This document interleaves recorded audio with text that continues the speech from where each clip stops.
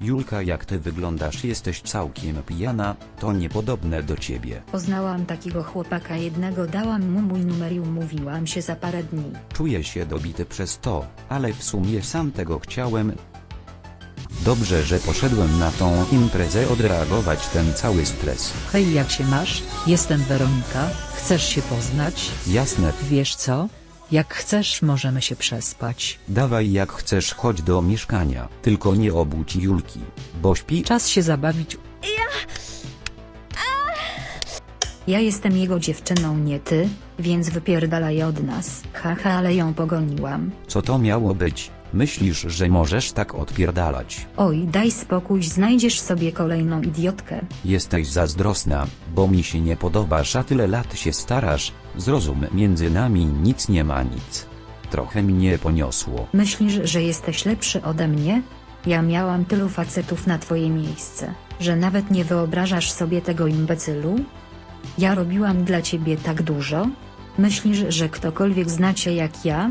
Że ktokolwiek sprawi, że będziesz tak szczęśliwy jak ja bym to zrobiła? O mnie się nie martw, będę szczęśliwy, mogę ci to obiecać. Nie przypominałem sobie, aby kiedykolwiek tak wybuchła. Masz rację, też już mi nie zależy, idę do Marcina, on chociaż o mnie dba. Marcina? Doroszeńskiego, Marcina? Ty chyba serio mi nie mówisz. O co ci tym razem chodzi? Przecież on jest dealerem. Nie mów, że nie wiedziałaś. Leży mu na mnie. No dalej Julka, nie bądź głupia, przecież jemu zależy tylko na tym, żeby cię zaliczyć i dobrze o tym wiesz. I może tego chce. Tylko ty możesz sobie pozwolić na coś takiego. Daj spokój.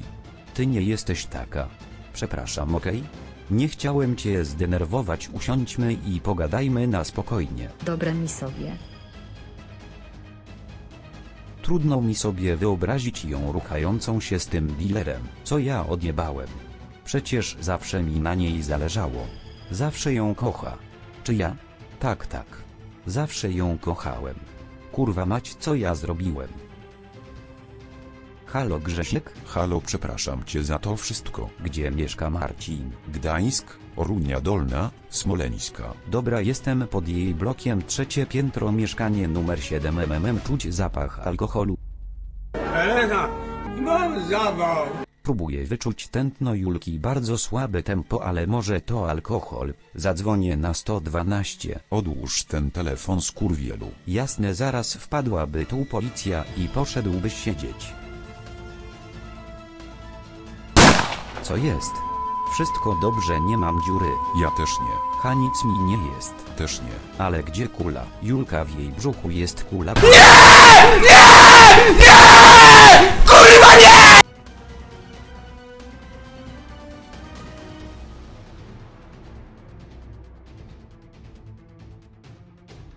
Julka jest w stanie krytycznym i jutro dowiemy się, czy potrzebne są kolejne operacje.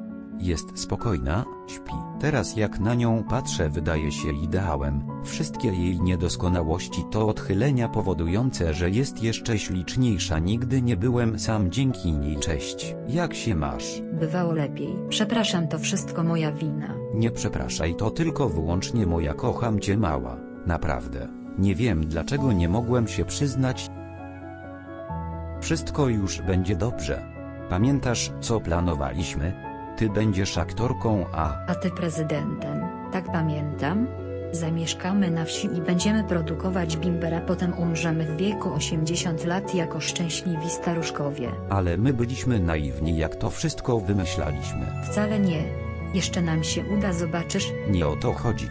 Dużo lepiej byłoby hodować zioło.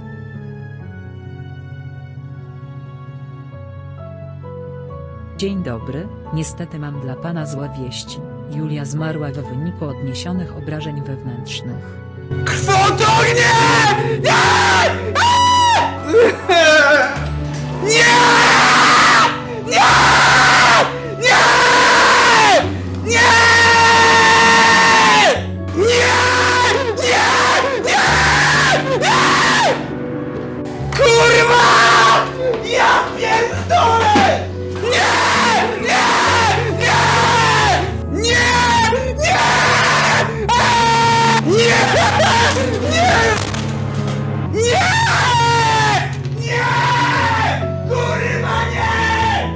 Zostawiła mi kartkę. Wiem, że będziesz teraz załamany, ale nie ma o co się martwić. Wyjdź teraz ze szpitala, pójdź do sklepu, ukradnij najdroższą butelkę szkockiej, jaką znajdziesz.